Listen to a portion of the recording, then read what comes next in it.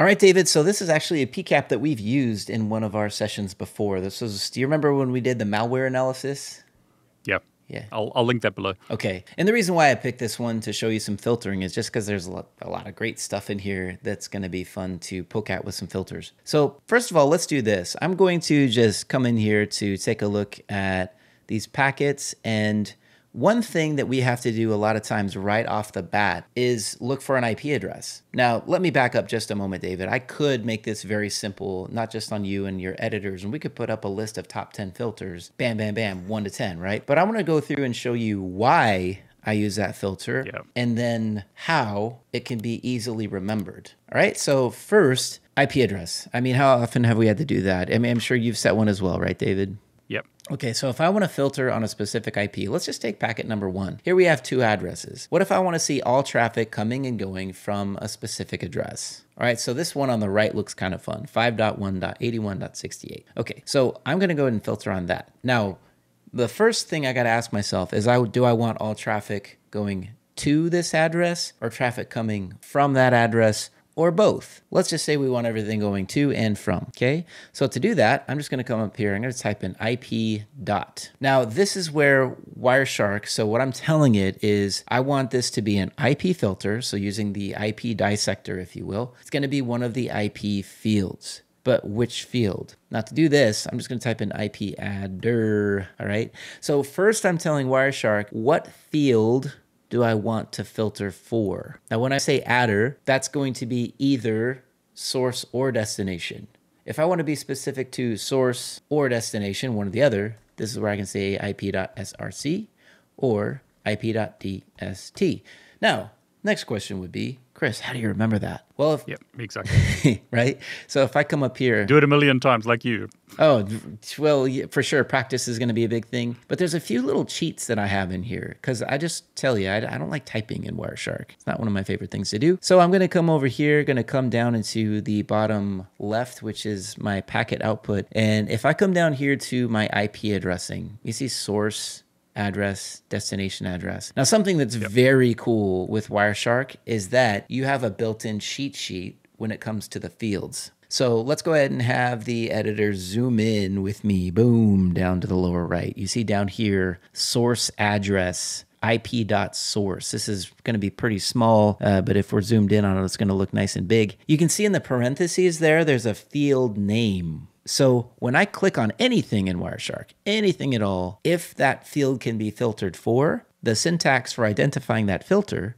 is going to be in that little parentheses. So there's a there's your first thing with Wireshark. All of this memorization you have to do with the syntax and remembering the dots and the slashes and all the things. Right there we have a cheat sheet for field name. So if I forget IP.source, just go to the source address field of IP and then down here on the lower right, IP.source. Same with destination. IP.destination. Now, if it's either one, what I do, and this is just me, this is what my eyes have gotten used to doing. Usually it's something that's simple to remember, like, for example, ADDR, right? Part of the address. So that's where it's something that we can just get used to, ADDR.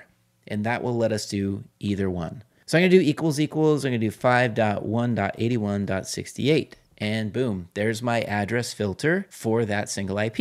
If I take a peek, my eyes just automatically, it just does it, David. I'm just walking you through what I'm looking at right now. If I come down here to displayed, you can see the number of packets that I have is 12953, but of that 12953, uh, 683 are displayed. Okay, let's back up. So there's a simple address filter. Now, to me, already that was too much typing. So now I'm going to show you, you can type in a filter or just drag and drop is a lot easier.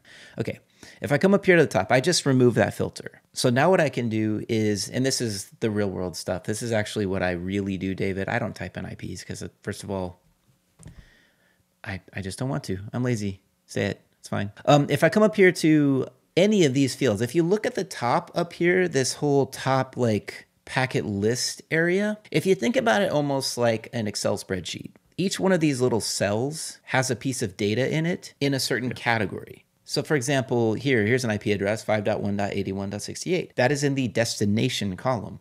So what I can do is I can just take this IP, drag, I'm literally clicking it right now. I just drag it and drop it up top. And That's nice. because that was the destination, now it automatically will set the filter for me. So now uh, all I got to do is go, you know what? I didn't want destination. I wanted everything. So now I have both ways. So that's a faster way to set a filter. If you could just find it in your PCAP, drag it upstairs, and either fix the filter or fix the destination or source, depending on what you're going for, that's a quick way to set a filter for an IP address. That's great. And it's IP because it's not IPv6, right? That- You'd have to type IPv6 for on the because this is IPv4, right?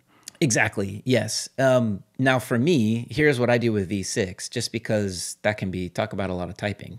Usually, if I'm looking for a V6 thing, which I think in this PCAP, I don't, I don't have any IPv6. No, I don't, David. So I can't demo it. But what I do is I'll really look for that address. What I'll first do is just do IP.v, sorry, V6, and then I'll find whatever packets match it, and then I can come down and look for the address I'm looking for and that's where I really use my drag and drop because come on, who wants to type all that out? And one other little cheat that I do is I'll come up to statistics endpoints. And what this does is it allows me to see all the addresses. And from here, instead of scrolling and scrolling and looking, I can go, ooh, that's the one I'm interested in. I click it, right click, apply as filter, selected. So from the statistical view, this is where I can also select an address. It'll pop me back into the analyzer and it'll give me both directions for that one IP. That's also really useful because if I come up here to stats again, let's go back to endpoints. To CV6, I might have to activate that field here. Right now mine was deactivated, but if I do have V6, I can come over here. I can look at all of the entries here in a list and I can right click and I can filter for the one I'm interested in. I always like to ask you the real world stuff because you're doing this all the time and companies send you these PCAPs all the time. Do you see a lot of IPv6 or is it still mainly IPv4? That's a great question. And I think the word that I would use is I'm seeing more IPv6. Uh, Okay. I, I wouldn't say a lot, but it's something that, um, you know, compared to 10 years ago, it's definitely something that's growing. However, still seeing a whole lot of V4. But most of your troubleshooting is IPv4 stuff. I would say today it's still mostly V4, yes. I'd say that's an accurate statement.